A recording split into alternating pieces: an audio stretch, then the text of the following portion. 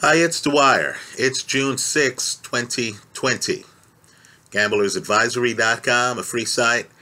BettingAngle.us, a free site. Let's talk boxing, but first remember, the opinion you should follow should be your own. Just consider this video to be a second opinion from a complete stranger online. Now, I understand there is talk about Katie Taylor, who has quite the following, fighting Amanda Serrano. Let me back up a little bit, talk a little boxing history, and then hit this fight head on. You know, years ago in the early 60s, Benny the Kid Paret faced Gene Fullmer. Right? Fullmer, great fighter, had beaten Sugar Ray Robinson in the past, right? Well, Fullmer beat the daylights out of Benny the Kid Paret, such that in Paret's next fight against Emile Griffith, a fighter he had fight he had fought before, Paret gets hammered, gets killed, never regains consciousness.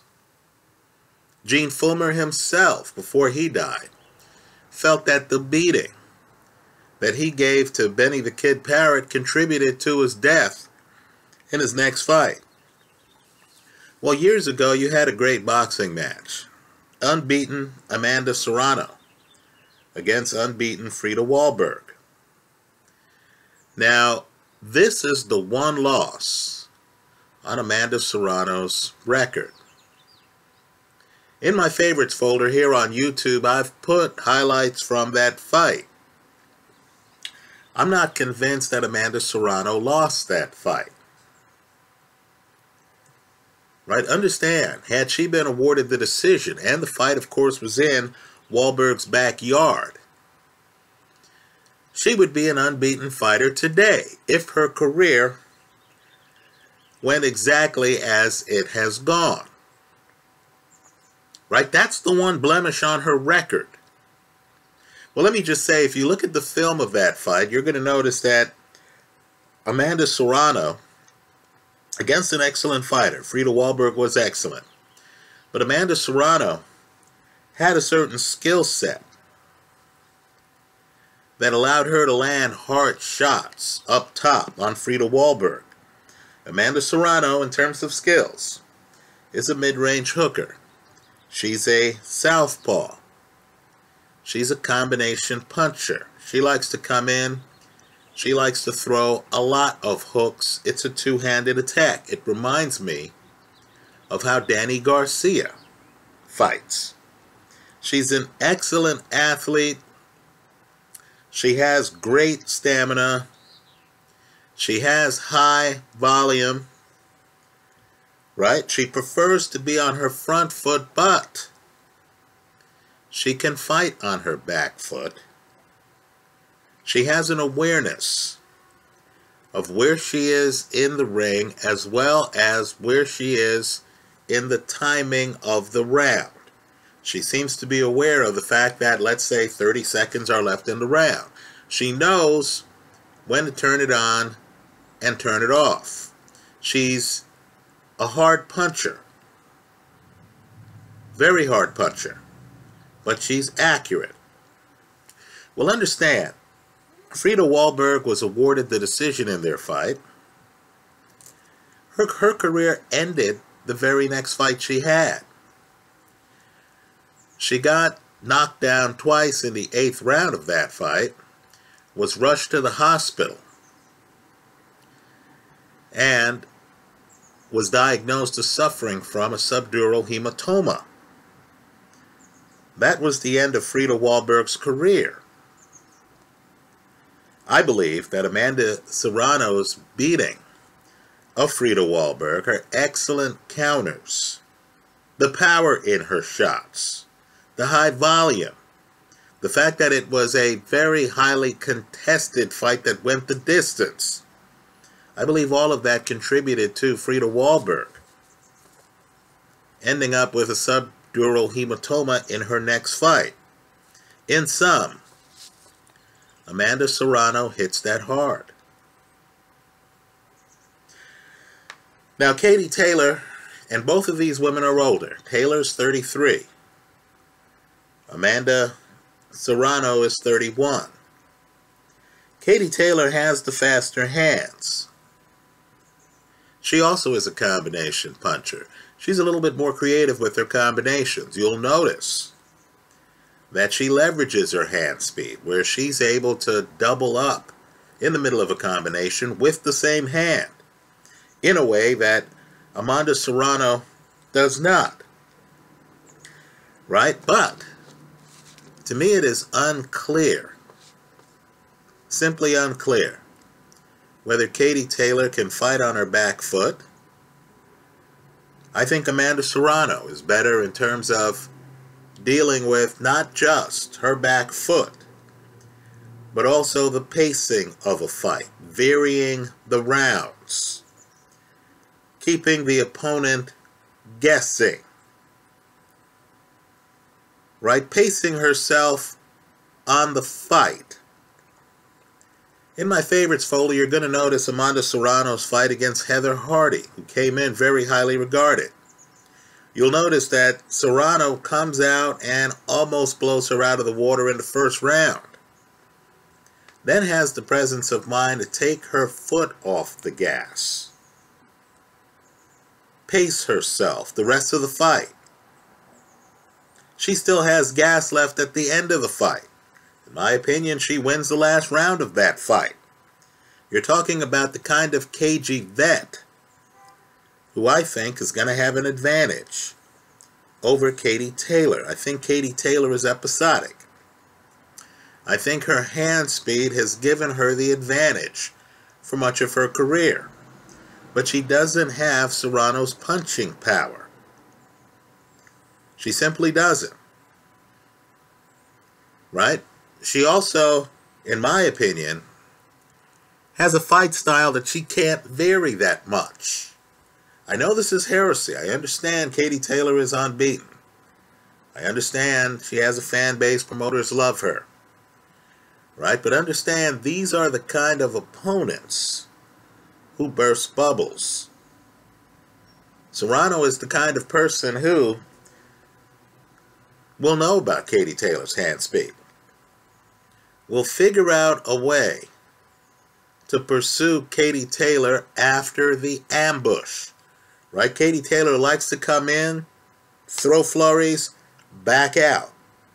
What I've found is that the highlights will show a Katie Taylor with incredible hand speed. Right? Throwing a lot of punches. They'll look dramatic. Katie Taylor only has six KOs. Her power is not that great. And the problem with just focusing on highlights is it misses what would happen if she's fighting a cagey vet and after she flashes hand speed and takes a step back to regroup. If that cagey vet then takes the step forward and gets Katie Taylor on her back foot, if the vet has the skill level of Amanda Serrano, who only has one dubious loss, in the opponent's backyard, I think Katie Taylor's going to be in trouble. If these two women were the same weight, and Amanda Serrano fights in the mid 120s, right? Katie Taylor is heavier. She's fighting 130, 135. If these women were the same weight, I would just take Amanda Serrano outright to win the fight. I think Amanda Serrano, skill wise, is better than Katie Taylor. But understand there is a weight dynamic that gamblers need to look at here. This is one of those fights where the devil will be in the details. If they agree to fight in the mid 120s, I'm on the Amanda Serrano side of the play all day. If they sign the fight at 135, then it gets dodgy. Understand, Serrano, pound for pound, has the bigger punch. The question is whether that would be offset by the natural weight gap.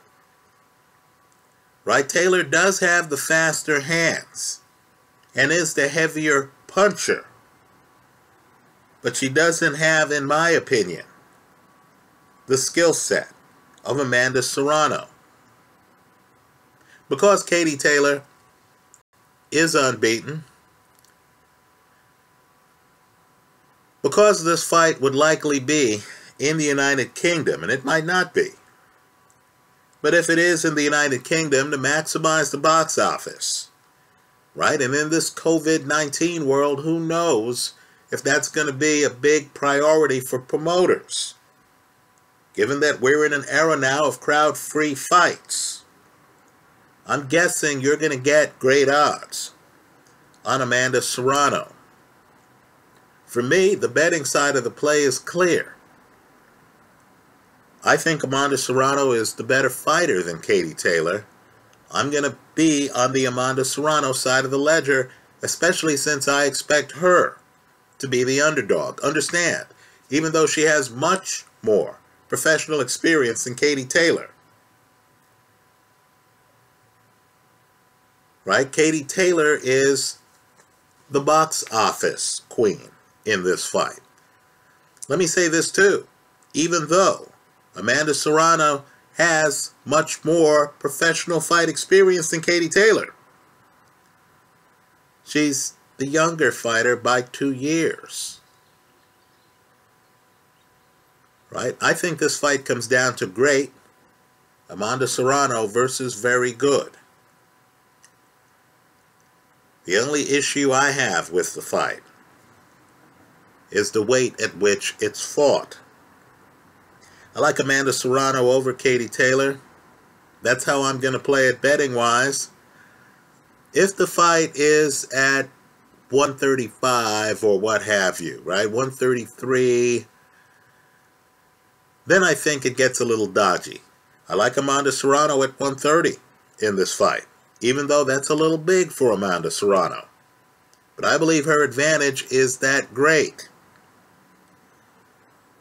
right? I think Serrano, with this level of punching power, a patient back foot game, patience in the ring, not going to get too excited, even if she starts fast like she did against Heather Hardy, right? Someone who has fought tough opponents like Frida Wallberg, who was excellent until the subdural hematoma ended her career right? I think Serrano just has too much professional experience, too much moxie, the better skill set, the ability to win the slow rounds, right? Katie Taylor is either all or nothing.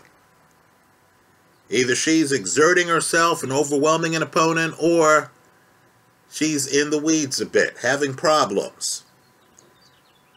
Amanda Serrano is the kind of person who can, by design, win rounds that don't have that much action. I like Amanda Serrano in this fight. I'll concede weight is a concern. But again, Serrano has never been KO'd in her career. Katie Taylor only has six KOs. Right? Even with the weight gap. I would argue that Katie Taylor is not enough of a puncher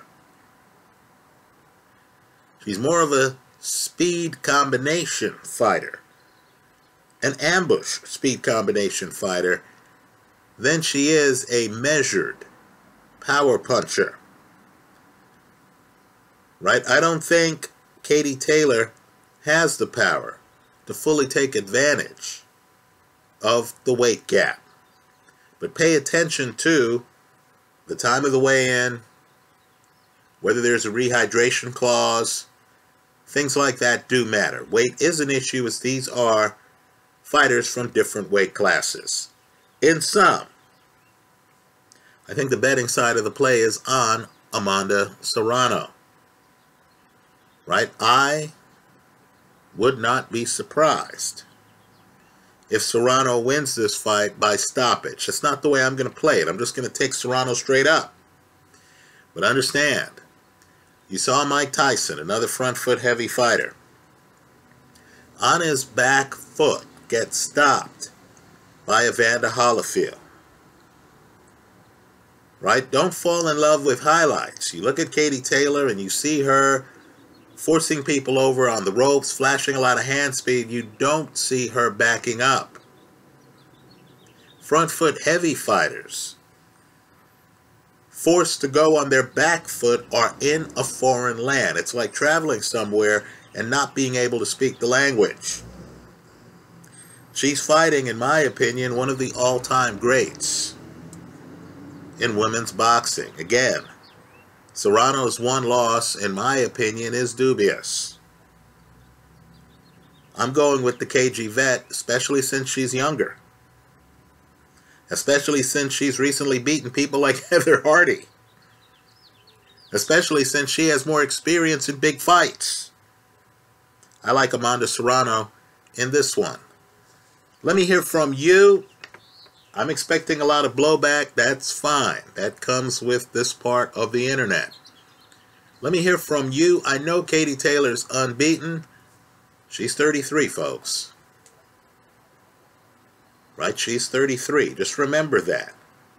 And has not fought the level of competition that Amanda Serrano has fought.